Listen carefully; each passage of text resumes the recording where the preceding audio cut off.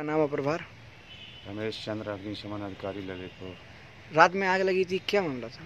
उसमें hero Honda का showroom था जिसमें सर्विस भी होती है तो उसमें आग लगी थी देर रात्रि जिसको मौके पर पहुंचकर हम लोगों ने आग को पूर्ण रूप से बुझा दिया गया कितना नुकसान हुआ है? नुकसान का तो अभी नहीं बताया मालिक द्वारा गाड़ियाँ भी उसमें रखी हुई थी तो जल गई हैं तो उसका आकलन अभी बाद में ही बता पाएँगे।